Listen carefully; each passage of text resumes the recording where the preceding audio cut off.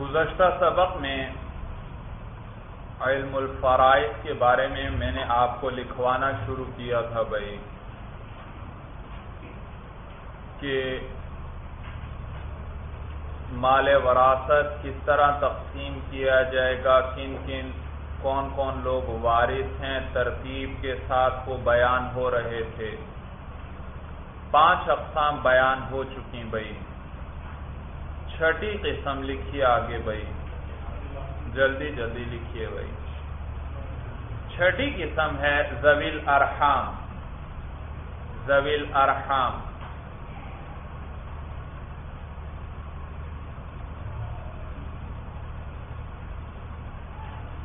اگر پھر بھی کچھ مال بچ جائے، اگر پھر بھی کچھ مال بچ جائے یا مندرجہ بالا قسموں میں سے یا مندرجہ بالا قسموں میں سے کوئی نہ ہو۔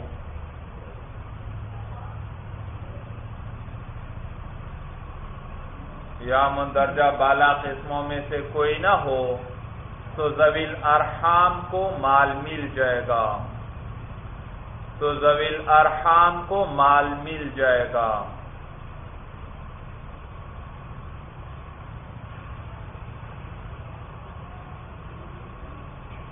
زویل ارحام وہ رشتہ دار ہیں۔ زویل ارحام وہ رشتہ دار ہیں۔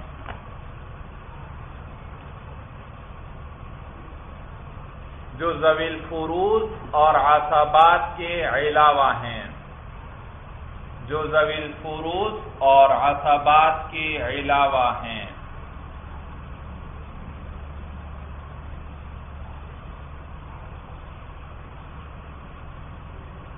جو زویل فروز اور عصابات کے علاوہ ہیں۔ مثلا، خالہ، ماموں، بھانجا، بھانجی،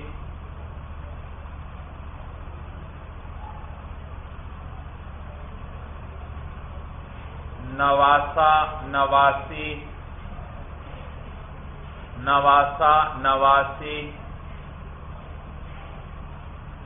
پھوپھی پھوپھی بھتیجی وغیرہ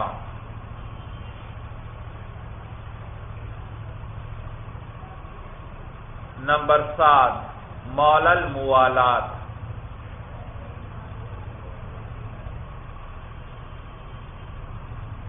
مول الموالات اگر مذکورہ بالا قسموں میں سے کوئی بھی نہ ہو، اگر مذکورہ بالا قسموں میں سے کوئی بھی نہ ہو،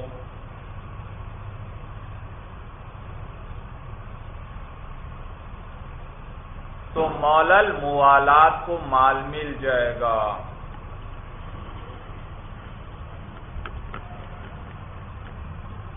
تو مولل موالات کو مال مل جائے گا۔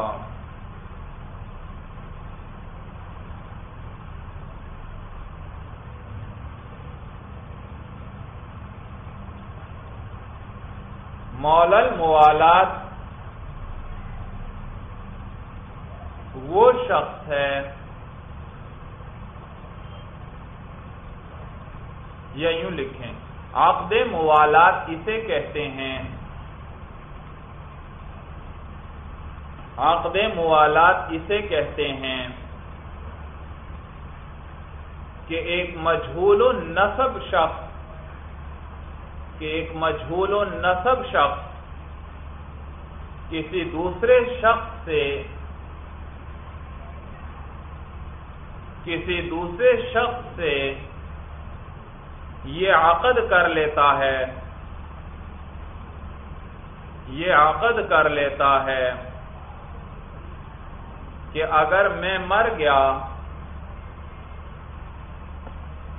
کہ اگر میں مر گیا، تو میرے مرنے کے بعد، تو میرے مرنے کے بعد میرے مال کے وارث تم ہوگے۔ میرے مرنے کے بعد میرے مال کے وارث تم ہوگے۔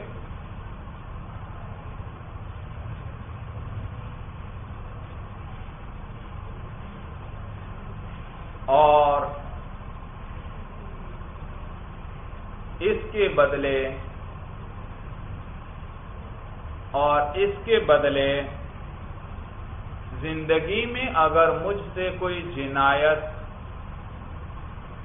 کوئی جرم ہو گیا،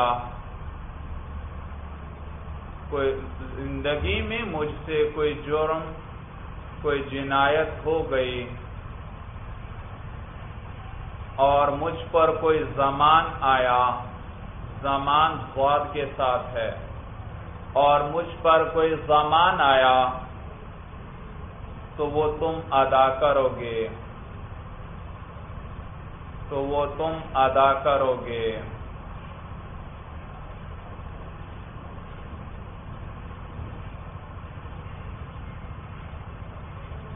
تو جب یہ مجھول نصب شخص مر جائے،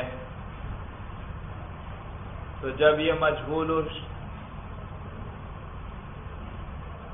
یہ مجھول نصب شخص مر جائے،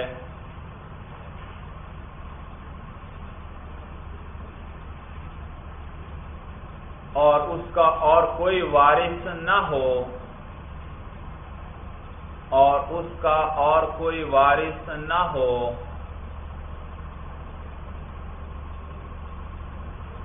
تو عقد کے مطابق اس کا سارا مال مول الموالات کو ملے گا۔ تو عقد کے مطابق اس کا سارا مال مول الموالات کو ملے گا۔ یعنی وہ شخص جس کے ساتھ اس نے عقد موالات کیا تھا۔ یعنی وہ شخص جس کے ساتھ اس نے عقد موالات کیا تھا۔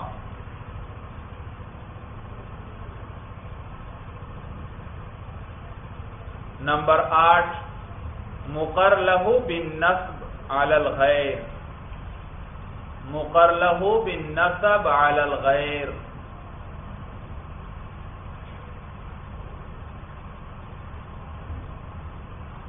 مقر لہو بن نصب علی الغیر۔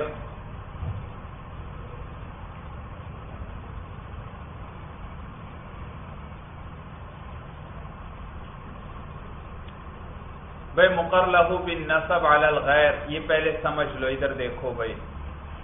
بھائی دیکھو، ایک آدمی کسی کے لیے اپنے سے نصب ثابت کرتا ہے۔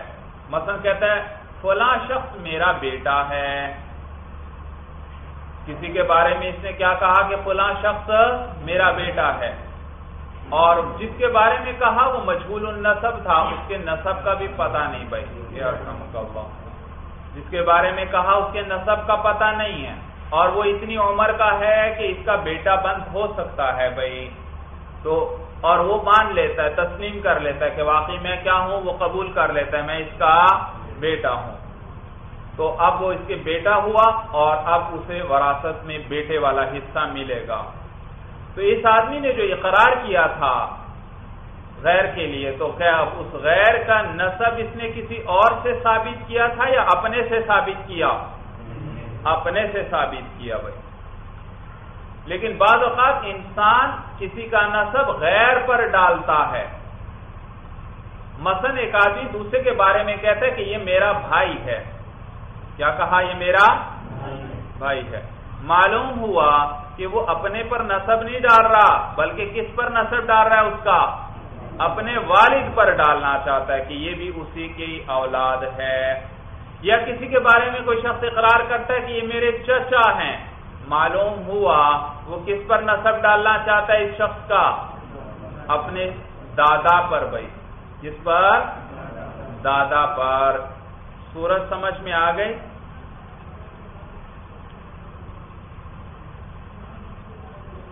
اب لکھیے بھائی۔ مقر لہو بن نصب علی الغیر وہ شخص ہے۔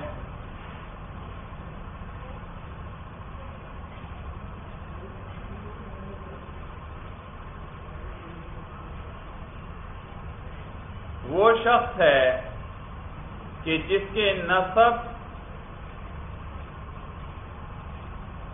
کہ جس کے جس کے لیے نصب کا اقرار کیا جائے غیر پر، کہ جس کے لیے نصب کا اقرار کیا جائے غیر پر۔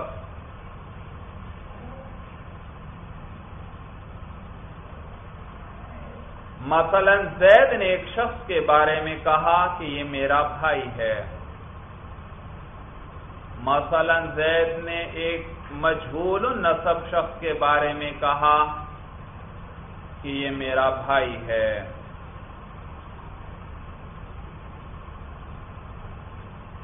معلوم ہوا زید اس کا نصب اپنے والد پر ڈالنا چاہتا ہے۔ معلوم ہوا زید اس کا نصب اپنے والد پر ڈالنا چاہتا ہے۔ یا مثلا زید کسی شخص کے بارے میں کہتا ہے، یا مثلا زید کسی شخص کے بارے میں کہتا ہے کہ یہ میرا چچا ہے۔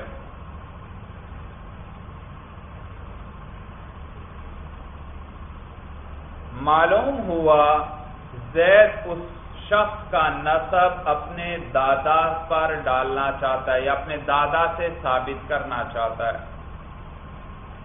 معلوم ہوا زید اس شخص کا نصب اپنے دادا سے ثابت کرنا چاہتا ہے۔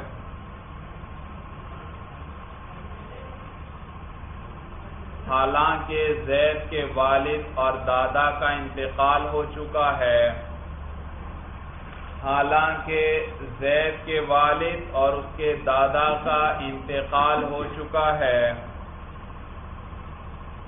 اور ان کی تصدیق کے بغیر یہ نصب ثابت نہیں ہو سکتا۔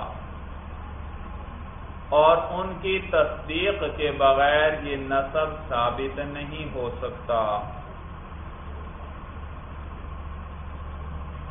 لہذا یہ مجبول نصب شخص لہذا میں یہ مجبول نصب شخص ان زید کے والد یا دادا کا، زید کے والد یا دادا کا وارث تو نہیں بنے گا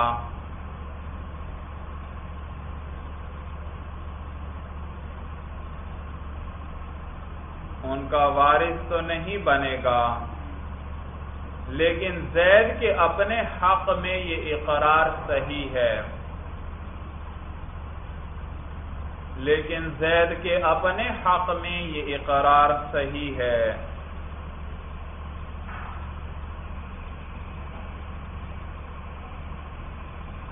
زید کے اپنے حق میں یہ اقرار صحیح ہے۔ لہذا زید کے مرنے کے بعد لہذا زید کے مرنے کے بعد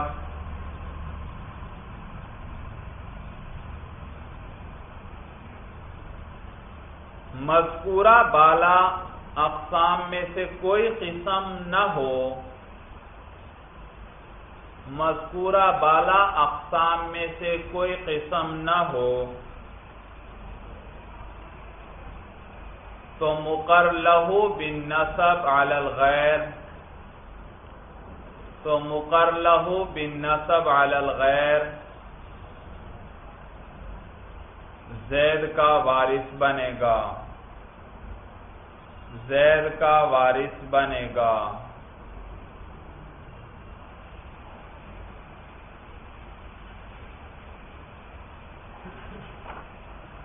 نمبر نو موسا لہو بجمیع المال۔ نمبر نو موسا لہو بجمیع المال۔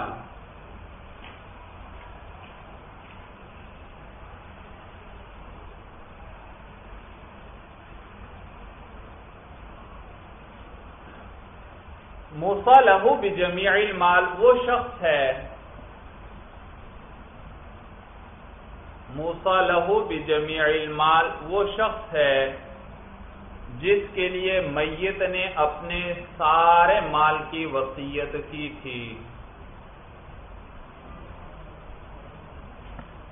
جس کے لیے میت نے اپنے سارے مال کی وسیعت کی تھی۔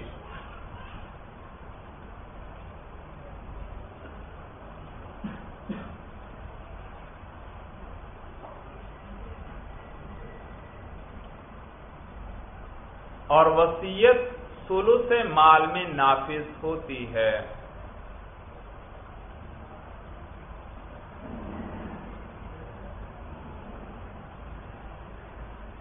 اور وسیعت سلو سے مال میں نافذ ہوتی ہے۔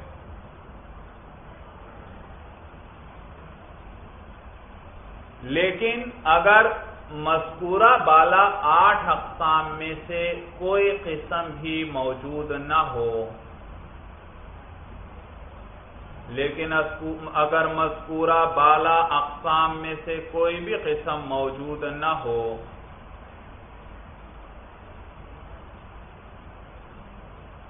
تو پھر تو پھر موسا لہو بجمیع المال کو سارا مال دے دیا جائے گا۔ تو موسا لہو بجمیع المال کو سارا مال دے دیا جائے گا۔ سورج سمجھ میں آ گئی؟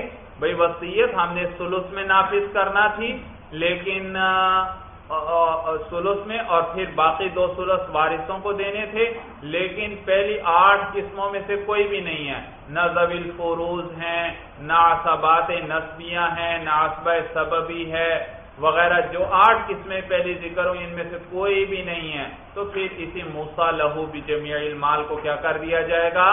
سارا مال دے دیا جائے گا۔ نمبر دس ہے بیت المال۔ نمبر دس، بیت المال۔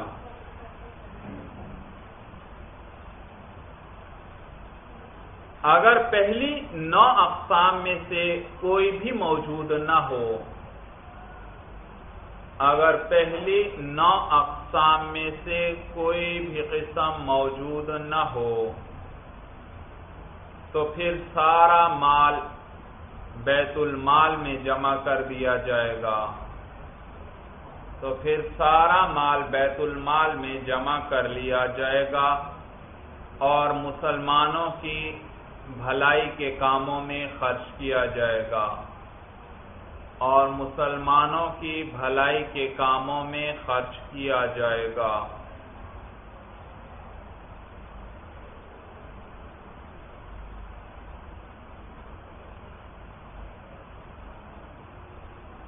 علماء فرماتے ہیں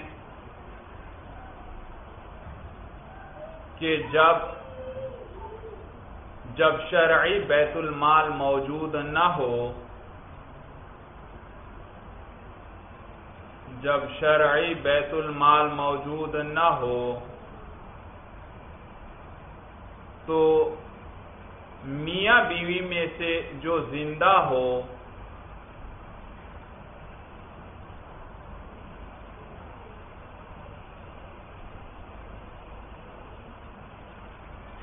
تو میاں بیوی میں سے جو زندہ ہو، باقی مال بھی اسی پر رد کر دیا جائے گا۔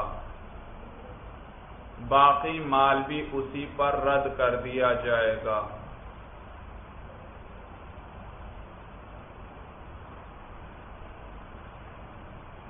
سورج سمجھ میں آ گئی بھائی؟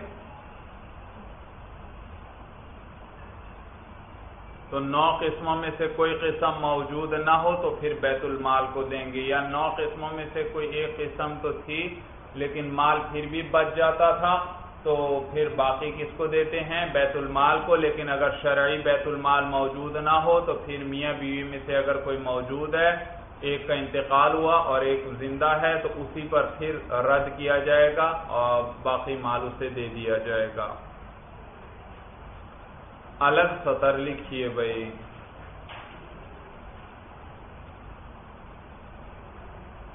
موانع ارث موانع موانع۔ موانع ارث الف راسا الف راسا الف کے نیچے زیر حمزہ ڈال دیں۔ موانع ارث بھائی یعنی وہ چیزیں جو وارث بننے سے مانع ہوتی ہیں، وہ چار چیزیں ہیں۔ یعنی وہ چیزیں جو وارث بننے سے مانع ہوتی ہیں، وہ چار چیزیں ہیں۔ نمبر ایک، غلام یا باندی ہونا۔ غلام یا باندی ہونا۔ نمبر دو قتل. نمبر دو، قتل. نمبر تین، اختلاف دین. نمبر تین، اختلاف دین. نمبر چار، اختلاف دارین. نمبر چار، اختلاف دارین.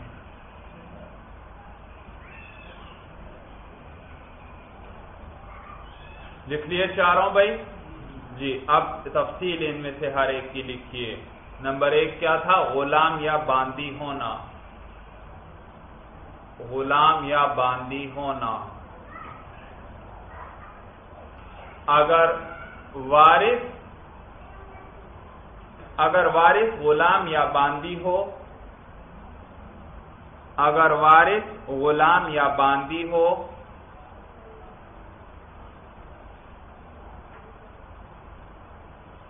تو وہ وراثت سے محروم رہے گا۔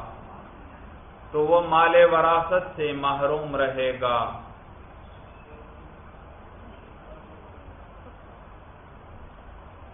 کیونکہ غلام اور باندی میں، کیونکہ غلام اور باندی میں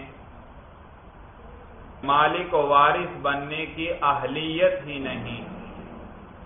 کیونکہ غلام و باندی میں وارث و مالک بننے کی اہلیت ہی نہیں۔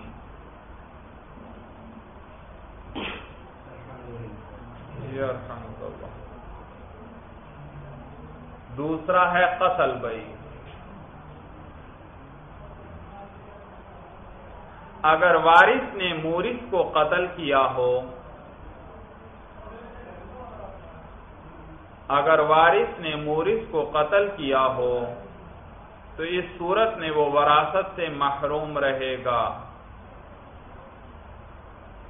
تو اس صورت میں وہ وراثت سے محروم رہے گا۔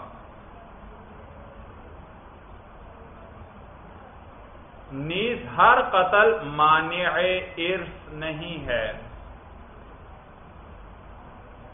یا مانع وراثت لکھ لیں۔ ہر قتل مانع وراثت نہیں ہے، بلکہ مانع وراثت وہ قتل ہے،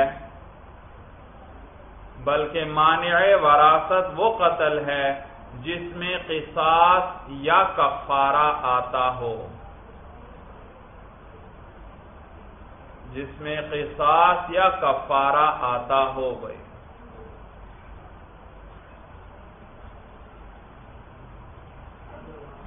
لکھ لیا بھائی، اب ذرا ادھر توجہ کرو بھائی۔ دیکھو، اگر ایک ہے وارث، ایک ہے مورث۔ جو میت ہے، وہ مورث ہے۔ وہ مال وارث بنانے والا ہے بھائی، مال وراثت چھوڑنے والا ہے۔ تو مورث کو اگر وارث نے قتل کیا، تو اب اسے مال میراث نہیں ملے گا۔ مثلا بیٹے نے اپنے والد کو قتل کیا ہے اور بیٹا تو وارث بنتا ہے۔ تو اب وہ مال وراثت سے محروم رہے گا۔ اس لیے کیونکہ دلوں میں بدگمانی آتی ہے کہ شاید اسی لیے اس نے قتل کیا ہے تاکہ مجھے یہ مرے اور مجھے جلدی سے مال مل جائے۔ لہذا اب شریعت نے فیصلہ دے دیا کہ اب اس کو مال دیا ہی نہیں جائے گا بھائی، مال نہیں دیا جائے گا۔ اور نیز بتلایا کہ ہر قتل اس سے یہ ہر قتل مانع وراثت نہیں ہے، بلکہ صرف وہ قتل مانع وراثت ہے جس میں کیا آتا ہو؟ قصاص یا کفارہ آتا ہو۔ آپ پڑھ چکے ہیں، قتل کتنی قسم پر ہے؟ پانچ قسم پر ہے۔ قتل عمد، شبہ عمد، خطا، شبہ خطا اور قتل بسبب۔ تو ان میں سے بعض میں آپ نے پڑھا تھا، قصاص آتا ہے، بعض میں کفارہ آتا ہے اور بعض میں نہ قصاص آتا ہے اور نہ کفارہ آتا ہے۔ ہاں جی آگے لکھیے بھائی، تیسری چیز جو مانع تھی وہ ہے اختلاف دین۔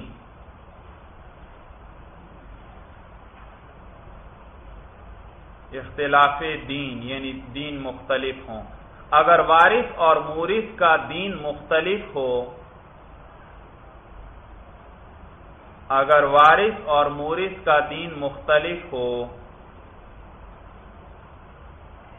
تو بھی وارث مال وراثت سے محروم رہے گا۔ تو وارث مال وراثت سے محروم رہے گا۔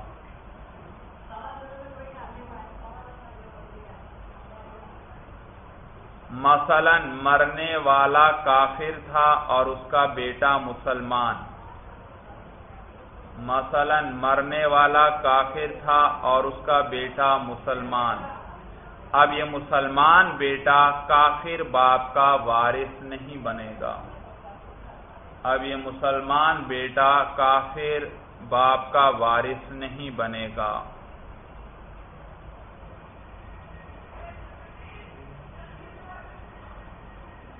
سمجھ میں آیا؟ تو یہ ہے اختلاف دین۔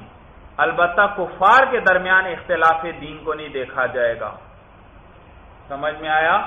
کفار ایک باپ یہودی ہے، بیٹا عیسائی ہے، پھر بھی وہ وارث بنیں گے بھائی۔ کفار میں اختلاف دین نہیں دیکھا جائے گا۔ اگر وارث اور مورث دونوں کافر ہیں، تو پھر اختلاف دین سے کوئی اثر نہیں پڑتا بھائی۔ کیونکہ الکفر ملت واحدہ، کفر سارا ایک ہی ملت ہے، ایک ہی دین ہے بھائی۔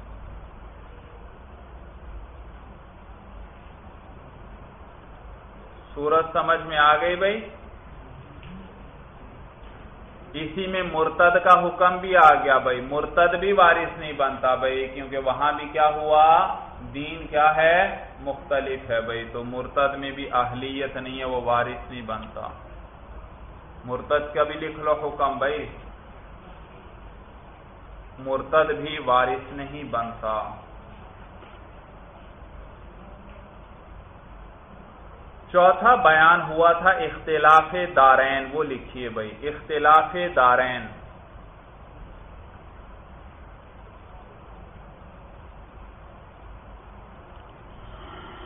وارث اور مورث اگر دونوں الگ الگ دار میں رہتے ہیں یعنی الگ الگ ملکوں میں رہتے ہیں اگر وارث اور مورث دو الگ الگ ملکوں میں رہتے ہیں اور ان دو ملکوں کے درمیان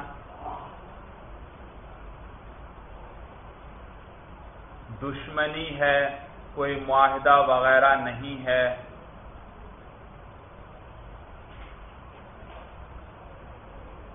دشمنی ہے، کوئی معاہدہ وغیرہ نہیں ہے۔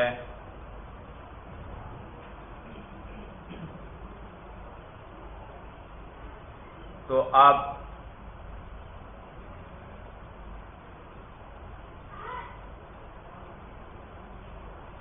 اب بھی وارث وراثت سے محروم رہے گا۔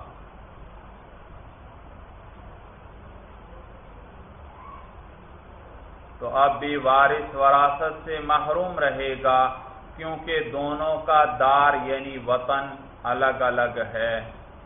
کیونکہ دونوں کا دار یعنی وطن الگ الگ ہے۔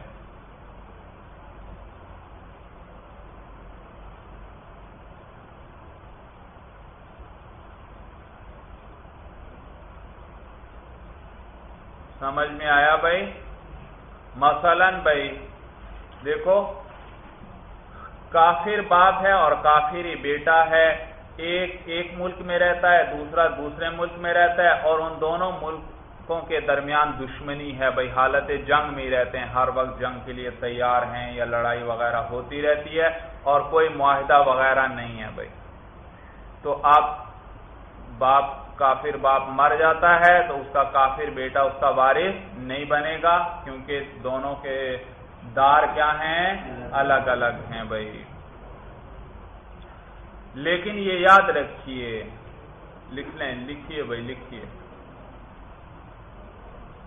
لیکن یہ یاد رکھیے کہ اختلاف دار، اختلاف دارین اختلاف دارین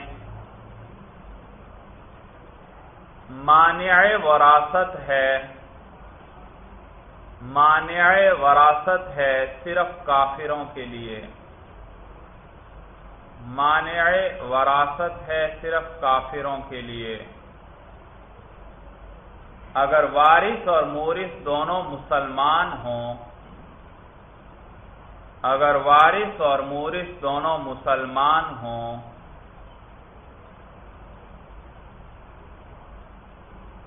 تو الگ الگ دار میں ہونے کے باوجود دونوں ایک دوسرے کے وارث بنیں گے۔ تو الگ الگ دار میں ہونے کے باوجود دونوں ایک دوسرے کے وارث بنیں گے۔ مثلا ایک دار الحرب میں ہے، ایک دار الاسلام میں ہے۔ اور ہیں دونوں مسلمان، تو پھر ایک دوسرے کے وارث بنیں گے۔ مثلا ایک دار الحرب میں ہے اور ایک دار الاسلام میں۔ تو دار الگ الگ ہونے کے باوجود دونوں ایک دوسرے کے وارث بنیں گے کیونکہ دونوں مسلمان ہیں۔ یہاں تک لکھ لیا بھائی۔ اچھا تو یہ دس اقسام بھی بیان ہوئی وارثوں کی۔ اور پھر جو چیزیں وارث ہونے سے مانع ہیں، جس کی وجہ سے وارث وراثت سے محروم رہتا ہے، وہ چار چیزیں بھی بیان ہو گئیں بھائی اب آگے لکھیے زویل فروز کی تفصیل۔ عنوان ہے بھائی زویل فروز کی تفصیل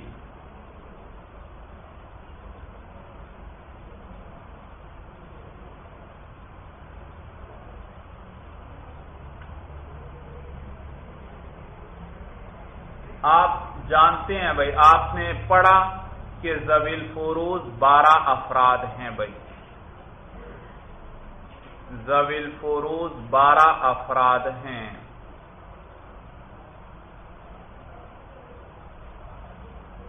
اب ان میں سے ہر ایک کے حصوں کی تفصیل بیان ہوگی۔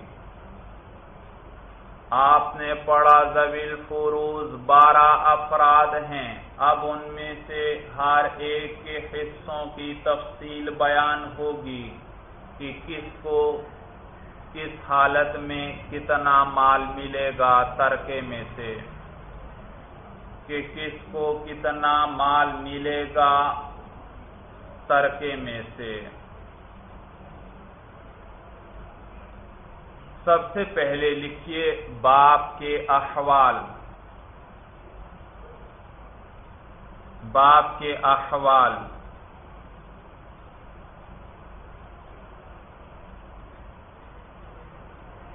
باپ کی تین حالتیں ہیں بھائی۔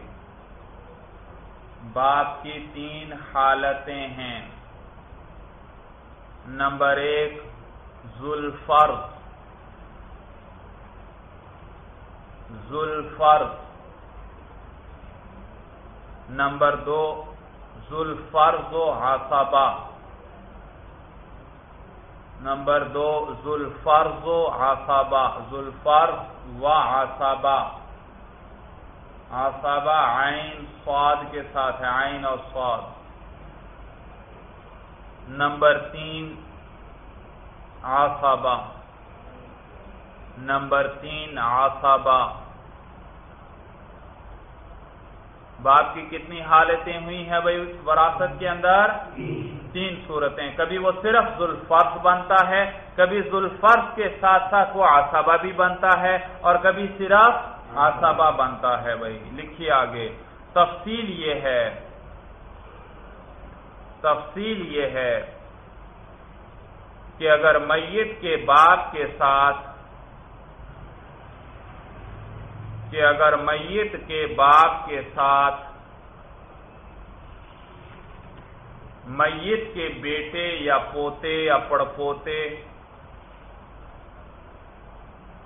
میت کے بیٹے یا پوتے یا پڑپوتے وغیرہ میں سے کوئی موجود ہو، پڑپوتے وغیرہ میں سے کوئی موجود ہو تو باپ کو اس کا حصہ یعنی سدس ہی ملے گا۔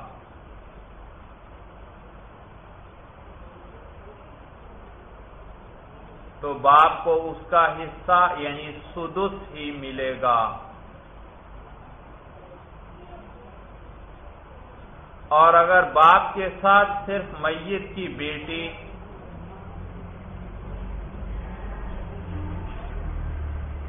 اور اگر باپ کے ساتھ صرف میت کی بیٹی،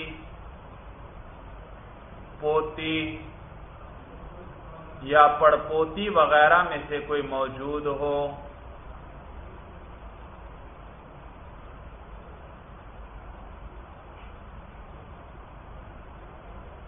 اور اگر باپ کے ساتھ صرف میت کی بیٹی، پوتی یا پڑپوتی وغیرہ میں سے کوئی موجود ہو تو اس صورت میں باپ کو سدس بھی ملے گا۔ تو اس صورت میں باپ کو سدس بھی ملے گا۔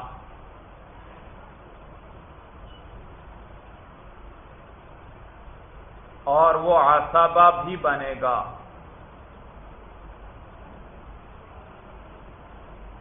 اور وہ آسابہ بھی بنے گا۔ یعنی باپ ذوالفرض بھی ہوا اور آسابہ بھی اس یعنی باپ ذوالفرض بھی ہوا اور آسابہ بھی اس صورت میں۔ اس صورت میں۔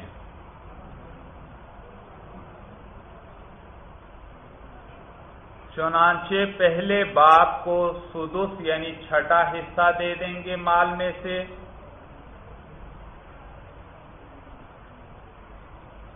تو پہلے باپ کو سدس یعنی چھٹا حصہ دے دیں گے، پھر بیٹی یا پوتی وغیرہ کو اس کا حصہ ملے گا، پھر بیٹی یا پوتی وغیرہ کو اس کا حصہ ملے گا، اور جو مال باقی بچے گا، اور جو مال باقی بچے گا وہ بھی آسبہ ہونے کی بنا پر باپ لے لے گا۔ وہ بھی آسبہ ہونے کی بنا پر باپ لے لے گا۔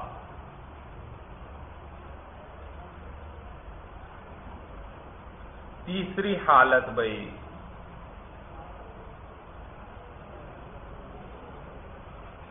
اگر میت کی کوئی اولاد نہ ہو اگر میت کی کوئی اولاد نہ ہو تو باپ صرف آسابہ بنے گا۔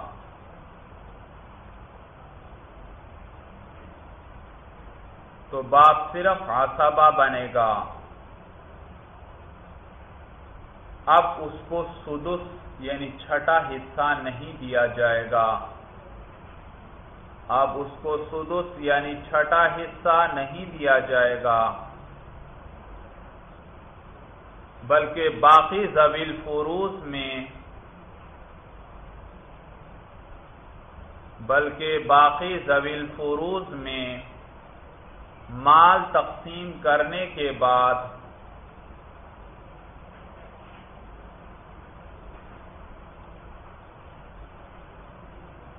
باقی زویل فروز میں مال تقسیم کرنے کے بعد جو کچھ بچے گا وہ باپ کو جو کچھ بچے گا، وہ باپ کو آسابہ ہونے کی وجہ سے مل جائے گا۔ وہ باپ کو آسابہ ہونے کی وجہ سے مل جائے گا۔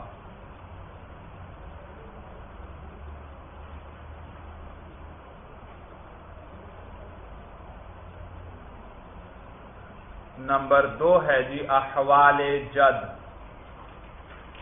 احوال جد۔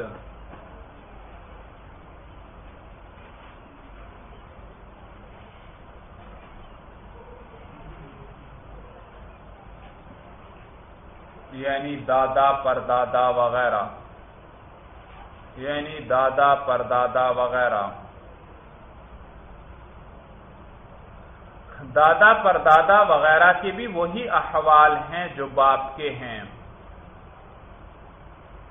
دادا پردادا وغیرہ کے بھی وہی احوال ہیں جو باپ کے ہیں۔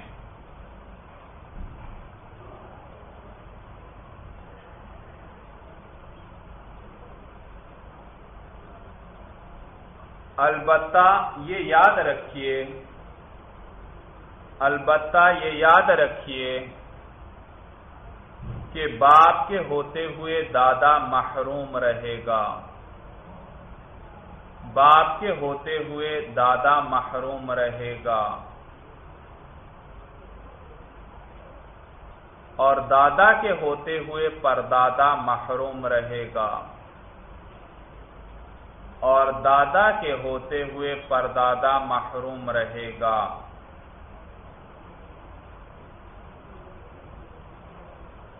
کیونکہ علم میراث کا قانون ہے۔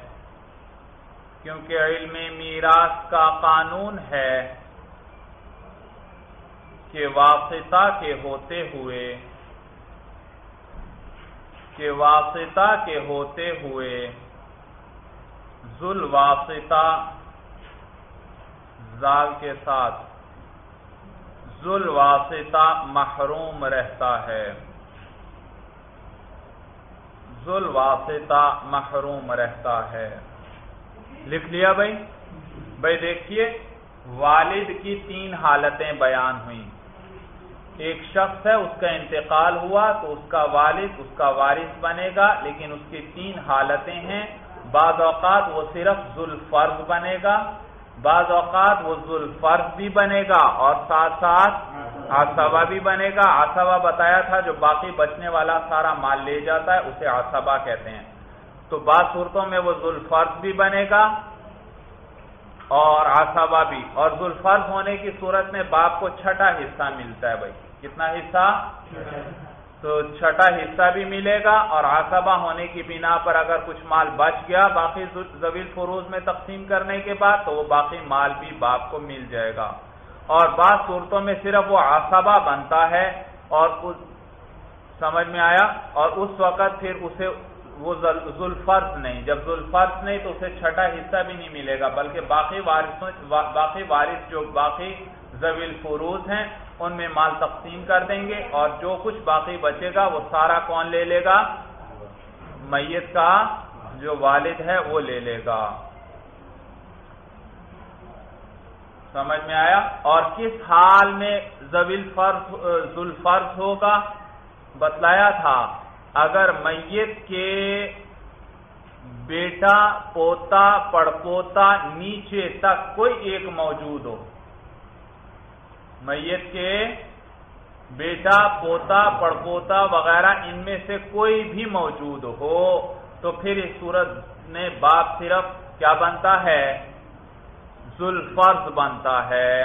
آسب بیٹا سب سے قریبی آسبا ہے۔ جب وہ ہے تو اس کے ہوتے ہوئے باپ پھر آسبا نہیں بنے گا۔ تو جب بیٹا موجود ہے، یا بیٹے کا بیٹا، یا بیٹے کے بیٹے کا بیٹا، نیچے تک بھائی، جہاں تک بھی نسل چلی جائے، ایک شخص کا انتقال ہوا اور اس کی اولاد کی اولاد میں سے بھائی موجود ہے کوئی بھائی۔ سمجھ میں آیا؟ یعنی بیٹے کی اولاد میں سے درمیان میں کسی کے عورت کا واسطہ نہیں آ رہا، کسی بیٹی وغیرہ کا واسطہ درمیان میں نہیں۔ تو اس صورت میں پھر کیا ملے گا بھائی؟ باپ صرف ذوالفرض بنے گا، اسے صرف کتنا حصہ ملے گا؟ چھٹا حصہ ملے گا، چھٹا حصہ۔ آسبا نہیں بنے گا۔ آسبا وہ بیٹا یا بیٹے کا بیٹا یا بیٹے کے بیٹے کا بیٹا وہ بن جائے گا۔ تو باپ کو چھٹا حصہ دے دیں گے اور زویل فروز کو بھی ان کے حصے دے دیں گے اور جتنا مال باقی بچے گا، سارا وہ بیٹا یا پوتا یا پڑ پوتا جو زندہ ہے وہ لے جائے گا۔ اور اگر باپ جب میت کا انتقال ہوا تو اس کا باپ بھی زندہ ہے، بیٹا کوئی نہیں زندہ، بیٹا، پوتا پڑپوتا وغیرہ کوئی نہیں۔ البتہ بیٹی یا پوتی یا پڑپوتی وغیرہ میں سے کوئی زندہ ہے، تو پھر اس صورت میں باپ ذوالفرد بھی بنے گا اور آسبا بھی بنے گا۔ کیونکہ قریبی آسبا بیٹا تھا، یا بیٹا کا بیٹا، یا بیٹے کے بیٹے کا بیٹا، ان میں سے تو کوئی بھی نہیں ہے۔ تو اب کون آسبا بن جائے گا؟ باپ آسبا بن جائے گا اور ذوالفرض بھی وہ بنے گا۔ تو پہلے اس کو چھٹا حصہ دے دیں گے، باقی سارے وارثوں کو جو زویل فروز ہیں انہیں ان کے حصے دے دیں گے۔ اور جتنا مال اگر بچے گا، وہ سارا کس کو دے دیں گے؟ والد کو آسبا ہونے کی بنا پر دیں گے۔ تو وہ ذوالفرض بھی ہوا اور آسبا بھی ہوا۔ اور بعض صورتوں میں باپ آسبا بنتا ہے۔ یعنی میت کی کوئی اولاد نہیں ہے۔ نہ بیٹا ہے، نہ پوتا ہے، نہ پڑپوتا وغیرہ، نہ بیٹی ہے، نہ پوتی، پڑپوتی وغیرہ، ان میں سے کوئی بھی نہیں ہے۔ تو اب اس صورت میں باپ صرف آسبا بنے گا، ذوالفرض نہیں بنے گا۔ اور آسبا اب ذوالفرض اگر کوئی اور زویل فروز میں سے ہے، ان میں مال تقسیم کر دیں گے۔ اور جتنا مال باقی بچے گا، سارا والد لے جائے گا۔ صورت سمجھ میں آ گئی؟ اس کے بعد دادا کے پردادا کے احوال بھائی۔ یاد رکھیے، جج سے مراد صرف دادا نہیں ہے، بلکہ دادا پر دادا لکڑ دادا، اوپر جہاں تک چلا جائے سلسلہ بھائی۔ ان کو، اور ان کی بھی وہی تین حالتیں ہیں جو باپ کی تھیں بھائی۔ سمجھ میں آیا؟ کیونکہ یہ سارے بھی اب ہیں، باپ کی طرح ہیں۔ لیکن اس میں ایک قیمتی ضابطہ جو یاد رکھنے والا وہ یہ کہ واسطے کے ہوتے ہوئے ذل واسطہ محروم رہتا ہے۔ بھائی دیکھو، میت کے ایک شخص کا انتقال ہوا، اس کا باپ بھی زندہ، دادا بھی زندہ۔ آپ بتائیے، دادا کا مرنے والے سے جو تعلق ہے، وہ بغیر واسطے کے ہے یا درمیان میں باپ کا واسطہ آ رہا ہے؟ باپ کا واسطہ آ رہا ہے اور باپ بھی اس وقت زندہ ہے، تو اب واسطے کے ہوتے ہوئے وہ جو واسطے والا تھا یعنی دادا، واسطے والا، تو باپ ہوا واسطہ اور دادا کیا ہوا؟ واسطے والا یعنی ذل واسطہ ہوا۔ تو واسطے کے ہوتے ہوئے جو ذل واسطہ ہوتا ہے، وہ کیا ہوتا ہے؟ محروم۔ اب ایک شخص کا انتقال ہوا، اس کا باپ بھی زندہ ہے، دادا بھی زندہ ہے، تو واسطہ موجود ہے، لہذا وہ جو ذل واسطہ ہے، دادا اسے کچھ نہیں ملے گا، باپ کو سارا مال مل جائے گا۔ اگر باپ نہ ہوا، تو پھر دادا کو مل جائے گا۔ لیکن دادا کے ساتھ پر دادا بھی زندہ تھا، تو پر دادا کو کچھ نہیں ملے گا، کیونکہ اب دادا جو بیچ میں واسطہ ہے، وہ موجود ہے، اور واسطے کے ہوتے ہوئے ذل واسطہ کو کچھ نہیں ملتا۔ سورج سمجھ میں آ گئی بھائی۔ چلیے بس مولانا المرام۔ اللہ عالم حقیقت الکلام۔